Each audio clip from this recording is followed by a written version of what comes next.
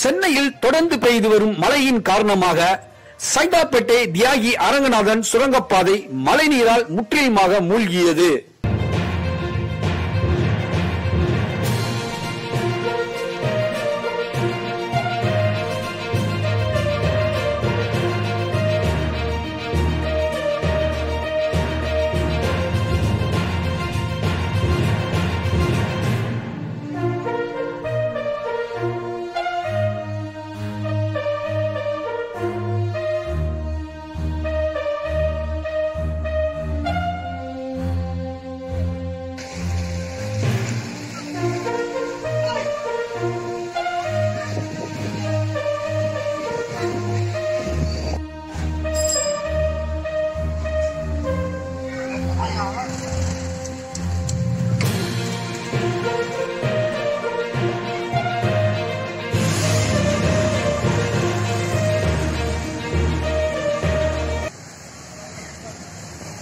இதனால் இந்த சுரங்கப்பாதையின் வழியாக செல்லும் அனைத்து வாகன போக்குவரத்துகளும் தற்காலிகமாக நிறுத்தப்பட்டுள்ளது.